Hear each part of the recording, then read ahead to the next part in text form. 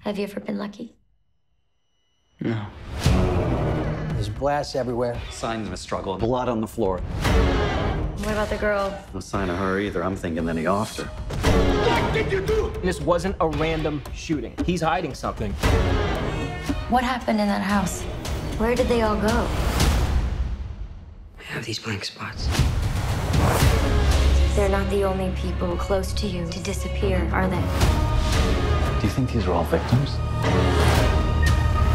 Can you see how all of this can seem like it was you? Wait, do you think that I'm the one pulling the strings? What if I said I do? I'm not! Danny, I'm trying to help you. I didn't shoot anybody. His best interest is to plead guilty. They're all in this together. If I'm right, Danny may be innocent. What are you not telling me?